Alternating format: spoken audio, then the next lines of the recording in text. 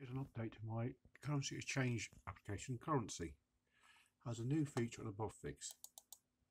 The new feature is be to save as HTML as well as CSV. So we'll load it in, got here.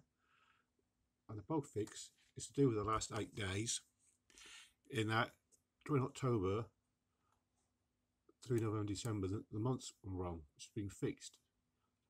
Go from here and do that one to they're close together, convert. You can see the exchange rate there. Go down to the last eight days. We'll save the data. We've got a new option now, is HTML.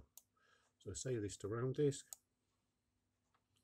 Put the RAM disk, you've got another thing called rates. Down there, we'll load that in to the web browser, and here it is. It's available for download from my website. The link will be in the description other than my software. And I'll see you whatever the next video is going to be about.